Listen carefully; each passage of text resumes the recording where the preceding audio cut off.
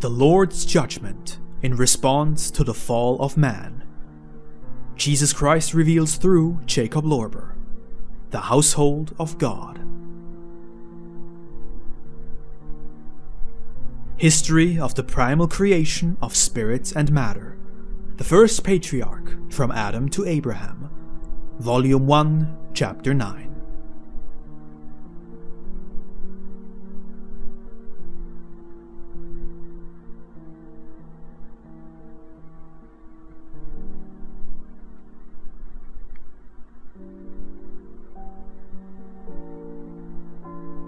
Thus spoke the Lord to me, Jakob Lorber, and within me for everyone, and that is true, faithful, and certain. And behold, eternal love, through the might and power of its mercy, withdrew the hand of might and the hand of power from its eyes of all enlightening grace, and the light of grace penetrated the cave where Adam was weeping, and behind the thorn bush where Eve was grieving.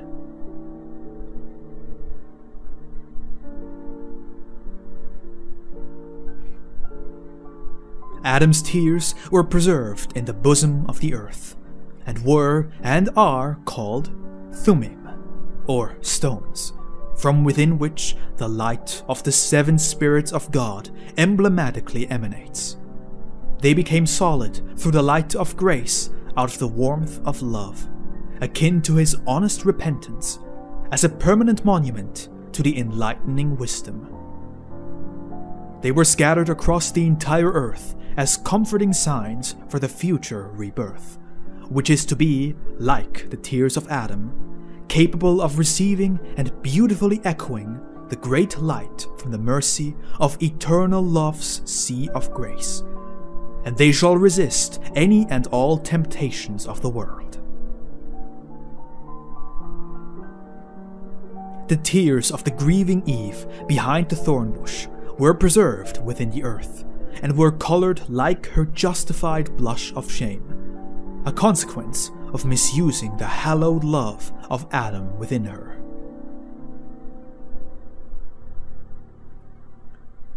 Eternal love saw that each of these tears of Eve was righteous before Adam, the son of merciful love, and the warmth of eternal love hardened these tears into little stones, and their name was Urim, as a symbolic sign of Eve's righteous sorrow. And lo, a tear dropped onto the thorn bush that sheltered her, and this was a tear of lost innocence. It colored the otherwise white flower of the bush, and they became red, as a sign of the lost innocence of Eve. And though by now the people already know all the plants on this earth, they are not aware of their true meaning in spirit and in truth and they will not know and understand this until they have attained their rebirth. The mercy of eternal love through the grace of salvation within themselves.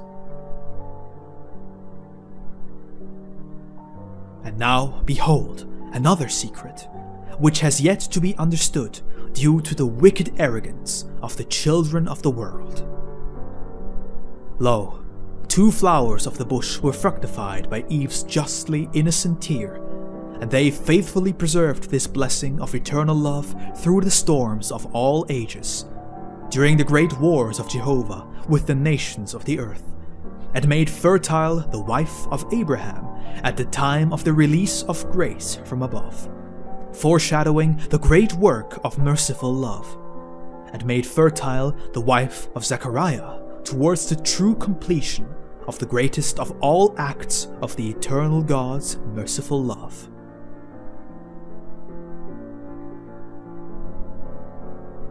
Now, return your gaze to Adam and Eve.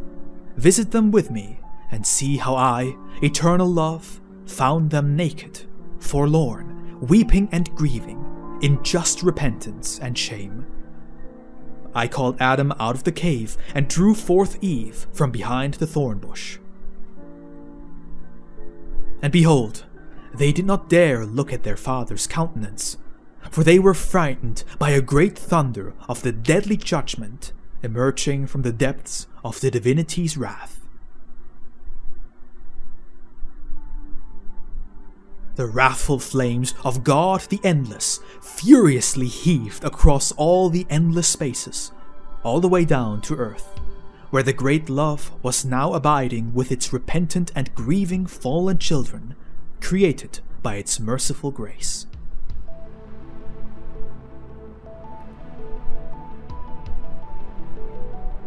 And behold, there was a fierce struggle between merciful love, again showing compassion for the repentant and grieving created beings, and the wrath divinity, wishing to destroy everything for the atonement of its incorruptible holiness.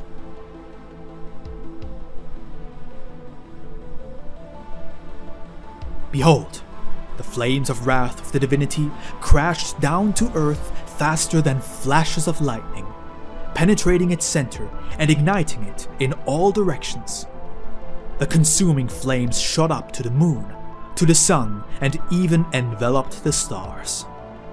And lo, the whole of endless infinity became a sea of fire, and terrible thunder rolled through all the endless spaces. The earth groaned, the sea roared, the moon wept, the sun lamented, and all the stars cried louder than all the thunder in their great fear of eternal destruction. And their tremendous voices resounded from the endless depths of the wrath of the divinity, exclaiming, Great and sublime God, soothe your great wrath and extinguish the destructive flames of your most righteous anger and in your holiness spare the innocent.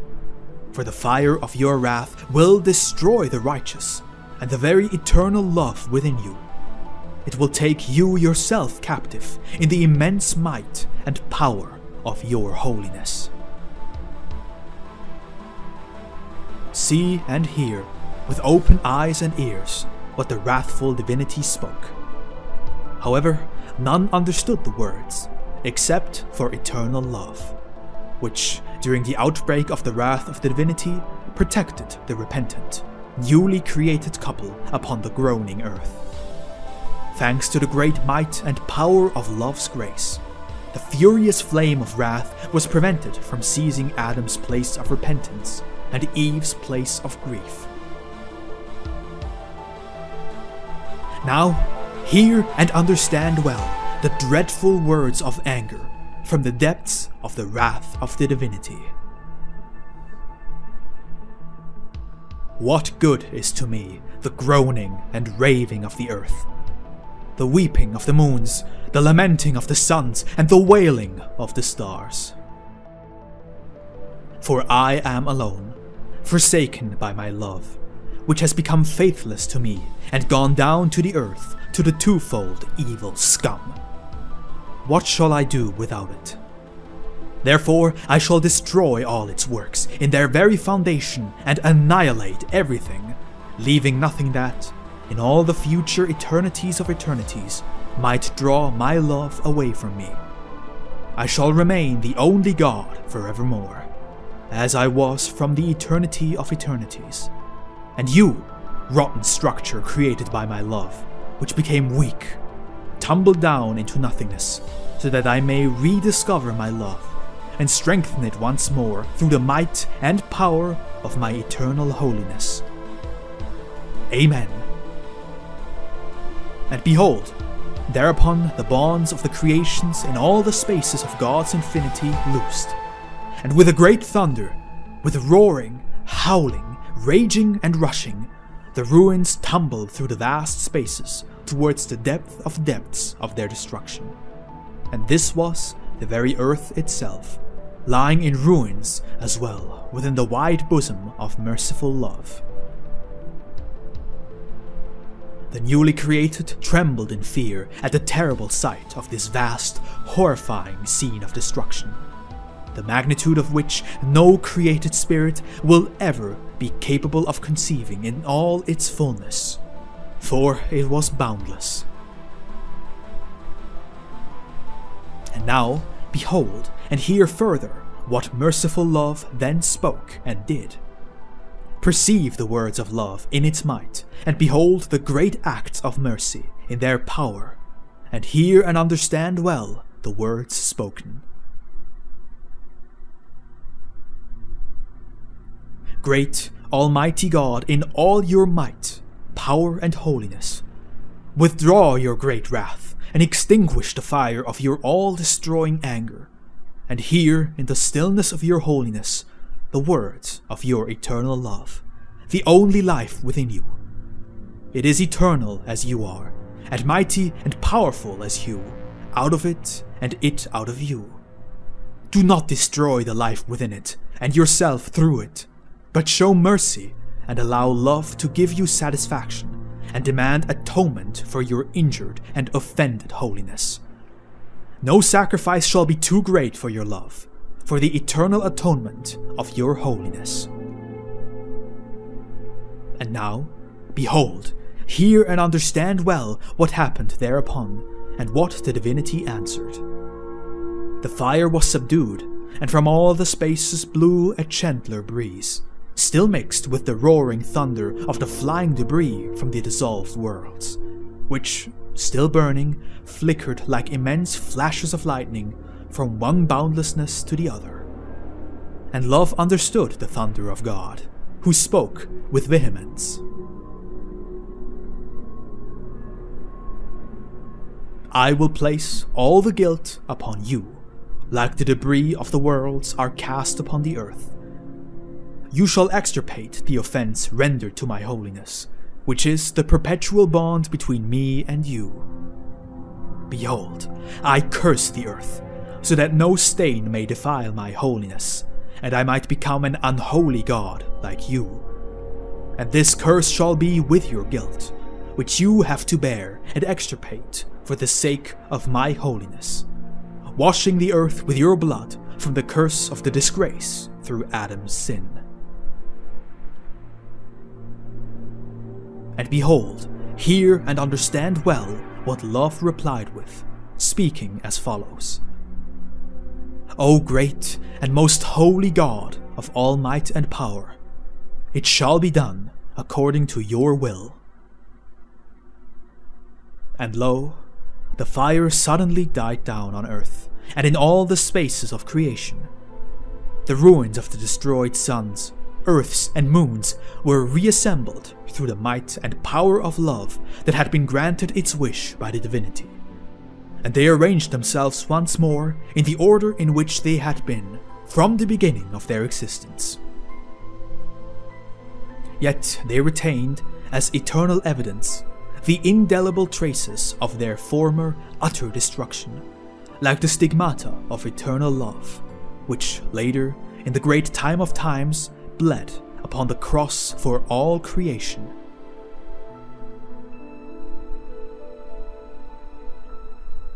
Here and there, debris from other worlds remained lying on the surface, in the depths and in the seas of the earth, as a sign of God's might and power and at the same time as eloquent witnesses of the immensely great acts of merciful love.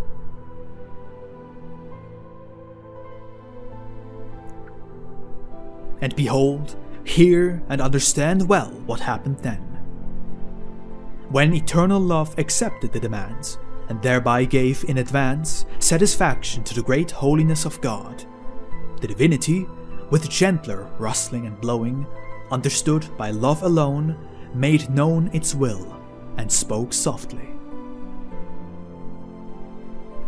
Behold, your great mercy has arisen within me and come before my all seeing eyes. And in the stillness of my holiness have I recognized your great sincerity and eternal faithfulness. I have counted Adam's tears of repentance and Eve's tears of grief and have become filled with compassion through your great mercy.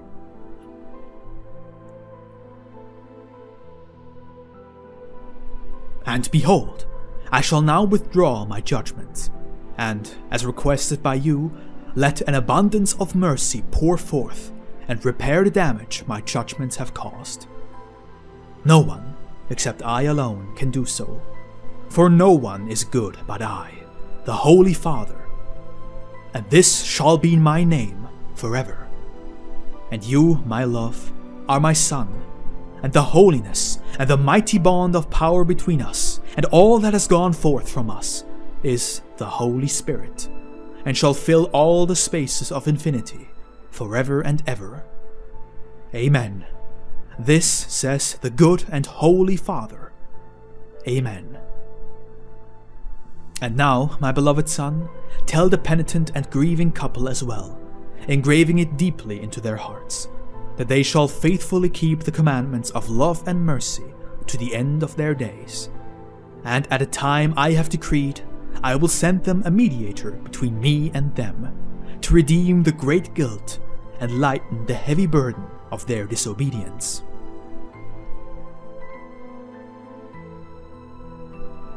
Until then, they shall abide in all patience and meekness, and the bread I will give them sparingly, they shall eat gratefully by the sweat of their brow. And they shall never have enough, until the time of the mediator, whom I will awaken from among their midst, and who will be perfect and good, as we are perfect and good, and holy forever. Tell them also that I have withdrawn my judgments only for those who will conscientiously keep my strict commandments. The trespassers are, at the slightest transgression, threatened with them forever, in all the severity of the forever holy truth.